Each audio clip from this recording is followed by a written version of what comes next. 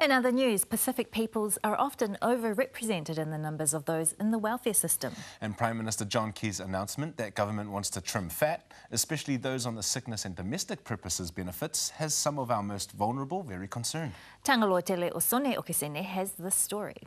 Yeah, so that's where I would sort of Prime Minister John Key's announcement of cutbacks in welfare is affecting the most susceptible in our communities.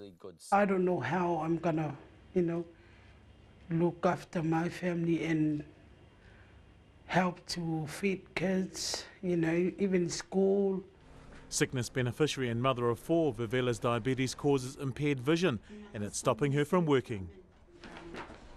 Been working about 25 years now, and I'm starting sick about two years now.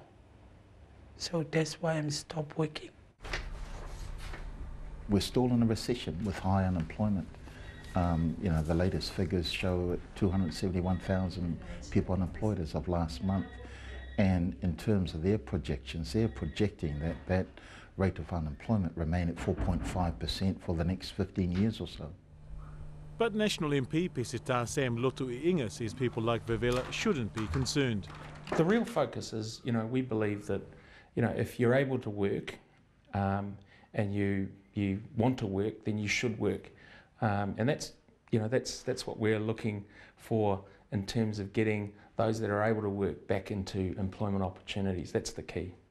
Last week's revelation of boxer Alipate Liava'a being on a sickness benefit hasn't helped the perception of beneficiaries in the public arena. That's a terrible thing there. Um, I don't know what the personal circumstances of that. That was just plain wrong. But I do not believe that that is the majority of people, and I don't believe that that's how you should measure the rest of the people who are receiving support from the state. We'll keep you posted on developments on this issue.